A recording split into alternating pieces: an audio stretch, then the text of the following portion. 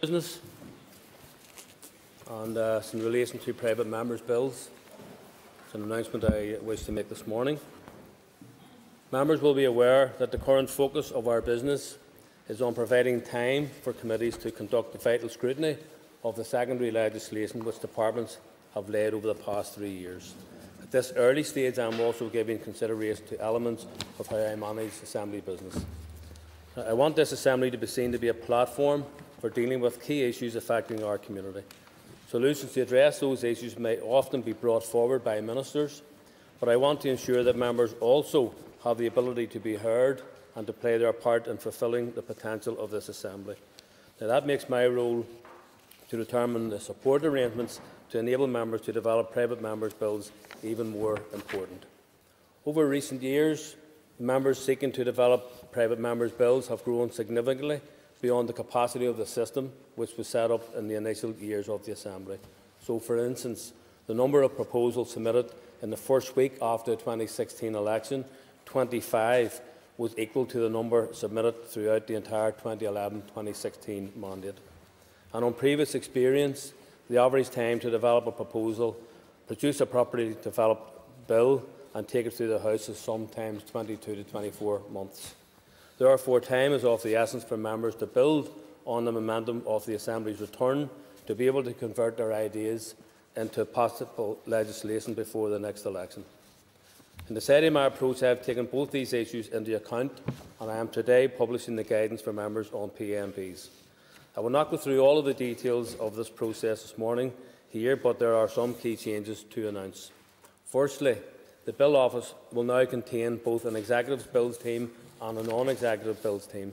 This will ensure dedicated support for members. Secondly, there will be an increase in the staffing of the Bill Office from 7 to 12 staff. Thirdly, support will no longer be provided on a first-come, first-served basis. All distinct proposals which meet the requirements of the process will be supported. Where several members submit the same proposal, they will be encouraged to collaborate on it. Fourthly, all bills which have not completed the legislative process fall at the end of a mandate. However, proposals which members began working on after the 2016 election may be submitted. In addition, members will have the opportunity to demonstrate that some of their previous work from 2016, for example, any consultation process that they had carried out, can be carried over and does not need to be repeated.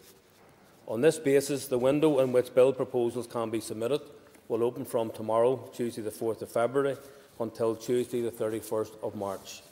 Now, this enables some time, particularly for newer members, to familiarise themselves with the process. After submission, the Bill Office will work with members to refine their proposals until the end of April. In producing the guidance, I have sought to ensure that enhanced work and enhanced support is available for members. And I want to thank Assembly officials who have worked to put these new arrangements to support members in place. However, there is also a need to look to the future, so I am writing today to the Chair of the Committee on Procedures. In 2016, the Committee on Procedures began a review of the PMB system, which it was unable to complete before the Assembly dissolved in 2017. It would be beneficial for that review to resume. In addition to considering the process around private members' bills and the support provided to it in general, I am also asking the committee to consider a number of specific issues. These include encouraging collaboration amongst members across parties by enabling more than one name to be attached to a bill to lead it through the House. I am also asking the committee to consider what provisions should be in place for those bills which members draft and present themselves independently of the bill office. Such bills are, of course, in order, but I think it is worth considering whether there is an any inequity between those members who rely on support from the Bill Office and those who have access to independent or external support. And there is also a public interest in ensuring transparency about how such support has been provided.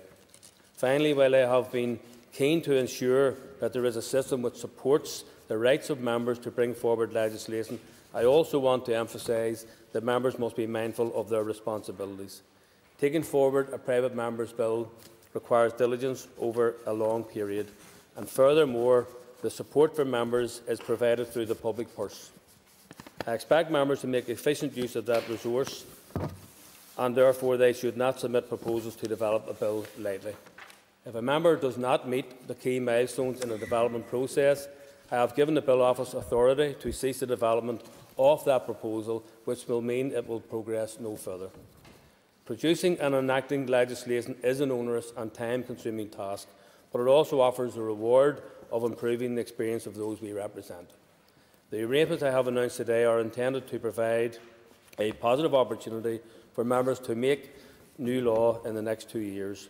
However, these proposals are likely to be coming alongside a full programme of legislation from the Executive, and members will note the indication from the head of the Civil Service to the Executive Office Committee last week that 11 bills are expected to come to the Assembly before the summer.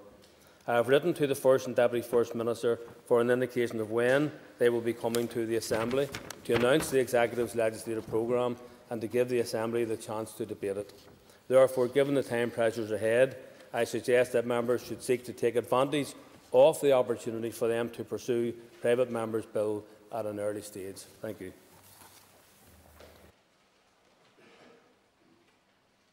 Uh, I've also received a request which has been granted to